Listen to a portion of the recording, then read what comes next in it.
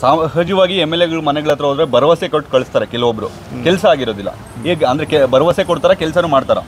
Sir ಭರವಸೆ ಹೇಗೆ ಅಂತಂದರೆ ನೋಡಿ ಅವ್ರ ಅಸಿಸ್ಟೆಂಟ್ಸ್ ಅವ್ರಿಗೆಲ್ಲ ಹೇಳ್ತಾರೆ ನಂದು ಎಕ್ಸಾಂಪಲ್ ನಾನು ನೀರು ಮುಂಚೆ ನೀರಿಂದು ಸ್ವಲ್ಪ ಪ್ರೆಸರ್ ಇರಲಿಲ್ಲ. ಓಕೆ ಅವ್ರ ಅಸಿಸ್ಟೆಂಟ್ಗೆ ಹೇಳಿ ಪರ್ಸ್ನಲಾಗಿ ಹೇಳಿ ನನಗೆ ಇವ್ನಿಗೆ ಒಳಗಡೆ ರಿಪೋರ್ಟ್ ಕೊಡಬೇಕು ಅಂತಂದ್ರು. ಸುಮ್ಮನೆ ಹೇಳಿಲ್ಲ ಅವ್ರಿಗೆ. ರಿಪೋರ್ಟ್ ಕೊಡ್ಬೇಕು ರಿಪೋರ್ಟ್ ಕೊಟ್ಟಾದ್ಮೇಲೆ ಥರ್ಡ್ ಡೇ ಬಂದು ಇಲ್ಲೇ ಬಂದು ವೆಲ್ಡಿಂಗ್ ಮಿಷಿನ್ ಬಂದು ಕಟ್ ಮಾಡಿ ವೆಲ್ಡಿಂಗ್ ಮಾಡಿ ಪೈಪ್ ಲೈನ್ ಕಾರ್ ಸರಿ ಮಾಡಿ ಹೋಯ್ತು.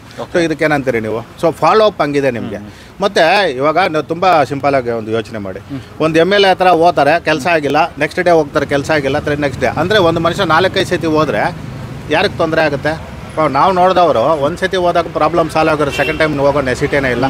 ನಾನು ಅವರು ಪರವಾಗೇನೆ ಹೇಳ್ತಾ ಇಲ್ಲ, ನಾನು ಜನರಲಾಗಿ ಹೇಳ್ತಾ ಇರೋದು ನೂರಕ್ಕೆ ನೂರು ಪರ್ಸೆಂಟ್ ಕೆಲಸ ಮಾಡಿಕೊಡ್ತಾರೆ. ಇಲ್ಲ ಅಂತಂದರೆ ತುಂಬ ಸಿಂಪಲಾಗಿ ಯೋಚನೆ ಮಾಡಿ ಸೆಕೆಂಡ್ ಟೈಮ್ ಥರ್ಡ್ ಟೈಮ್ ಬರ್ತಾ ಇರಲಿಲ್ಲ. ಮನೆಯೇ ನೀವು ಅವರು ನಾಮಿನೇಷನ್ ಹಾಕ್ಬೇಕಾದ್ರೆ ಎಷ್ಟು ಜನ ಸೇರಿದ್ರು ಅಂತ. ಎಲ್ಲ ಸ್ವಯಂಕೃತವಾಗಿ ಬಂದಿದ್ರು ಅವರು. ಎಲ್ಲ ಬಿಸಿಲಲ್ಲಿ, ಎರಡು ಗಂಟೆ ಬಿಸಿಲಲ್ಲಿ ಕೂಡ ಇದ್ದು ಹೋಗಿ ಸಪೋರ್ಟ್ ಮಾಡಿದ್ದಾರೆ ತುಂಬಾ ತುಂಬ ಆಗಿ ಅರ್ಥ ಮಾಡ್ಬೋದು. ಓಕೆ ಮತ್ತೆ ಗೆಲ್ತಾರೆ ಸರ್ ಆಗಿದ್ರೆ ನೂರಕ್ಕೆ ನೂರು ಪರ್ಸೆಂಟ್ ಗೆಲ್ತಾರೆ. ಸಲ ಮಂತ್ರಿಗಳಾಗ್ತಾರ ಆಗಿದ್ರೆ ಮಂತ್ರಿಗಳು ಆಗಲೇಬೇಕು. ಯಾಕಂದ್ರೆ ನಾವು ಕಷ್ಟಪಟ್ಟಿದ್ದೀವಿ. ನಮಗೆ ಸ್ಪಂದಿಸಿದಾರಲ್ಲ ಅವರು. ಆ ಸ್ಪಂದಿಸಿದ ಆ ಋಣ ನಮಗೂ ಇದೆ.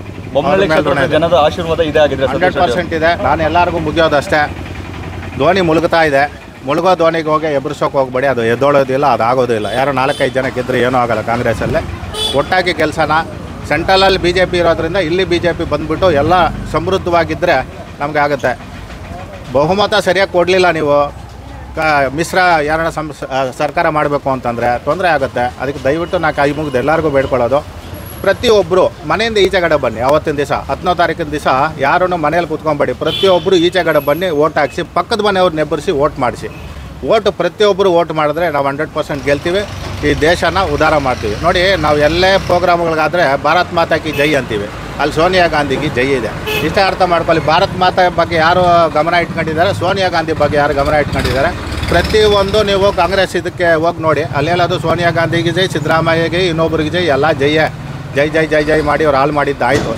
ಅವ್ರು ಹೇಳ್ತಾರೆ, ಇನ್ನು ಲಾಸ್ಟಲ್ಲಿ ಒಂದೇ ಒಂದು ಹೇಳ್ಬಿಡ್ತೀವಿ ಅಷ್ಟು ನಾವು ದೇಶ ರಕ್ಷಣೆ ಮಾಡಬೇಕು. ಇಲ್ಲಿ ನೋಡೇ ಮಾತ್ರ ಓಟ್ ಹಾಕ್ಬಾರ್ದು. ದಯವಿಟ್ಟು ಎಲ್ಲರೂ ತಿಳ್ಕೊಳ್ಳಿ. ಇಲ್ಲಿ ಮಾತ್ರ ಲೋಕಲಲ್ಲಿ ನೋಡಿ ಓಟ್ ಹಾಕ್ಬೇಡಿ. ಸೆಂಟ್ರಲಲ್ಲಿ ನೋಡಿ. ಸೆಂಟ್ರಲಲ್ಲಿ ಏನೇನು ಯೋಜನೆಗಳು ತಂದಿದ್ದಾರೆ ಅದನ್ನು ಮನಸ್ಸಲ್ಲಿ ಇಟ್ಕೊಳ್ಳಿ ಯಾಕಂದ್ರೆ ನಾವು ಇಡೀ ಭಾರತ ದೇಶ ಒಂದು.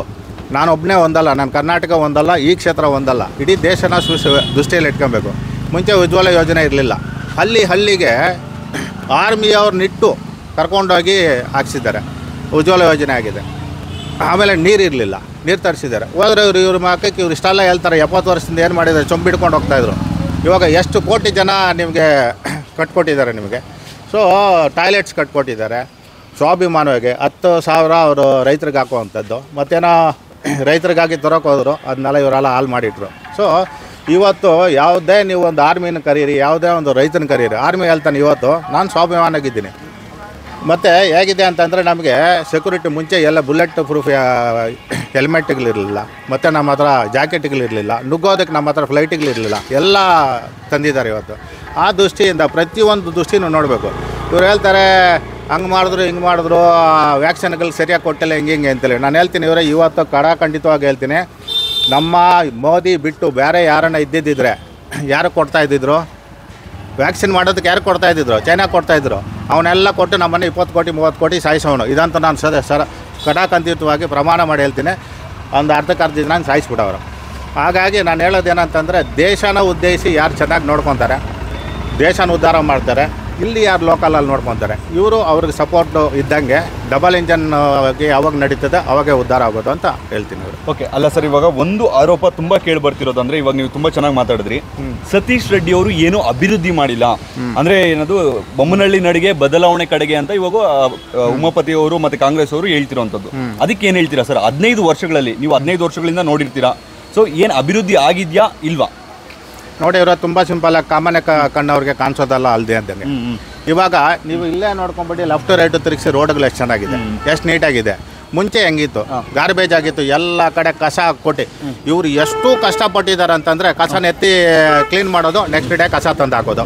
ತಿರ್ಗಾ ಇನ್ನೇನು ಮಾಡೋರು ಅಲ್ಲೆಲ್ಲ ಪಾರ್ಟ್ಸ್ ಇಡೋರು ರಂಗೋಲಿ ಹಾಕೋರು ಆ ಪಾರ್ಟ್ಸ್ ಪಾಟ್ಸ್ನೆಲ್ಲ ಎತ್ತು ಬಿಸಾಕಿ ತಿರ್ಗಾ ಜನನೂ ಸಪೋರ್ಟ್ ಮಾಡ್ಬೇಕಲ್ಲ ಇವ್ರೆ? ಯಾರು ಮಾಡ್ತಾ ಇರಲಿಲ್ಲ. ಓಕೆ ಅಲ್ಲಿ ತಿರ್ಗಾ ಇಟ್ಟು ನೀವು ನಂಬ್ತಿರಲ್ಲ ರಾತ್ರಿ ಆಗಲು ಸೆಕ್ಯೂರಿಟಿ ಇಟ್ಟಿದ್ದಾರೆ ಚೇರ್ ಇಟ್ಬಿಟ್ಟು. ಓಕೆ ಅಷ್ಟು ಸ್ವಚ್ಛತೆ ಬಗ್ಗೆ ಕ್ಲೀನಿಂಗ್ ತಗೊಂಡಿದ್ದಾರೆ.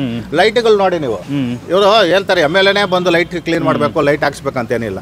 ಎಲ್ಲ ತಪ್ಪು.